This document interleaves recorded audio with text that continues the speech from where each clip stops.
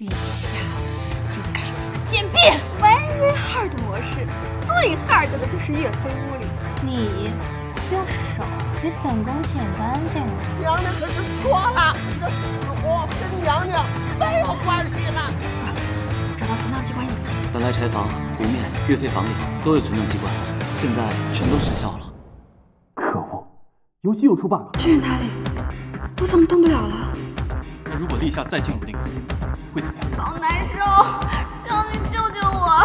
立夏大脑会严重受损，再也回不来了。我的内测就等于失败了。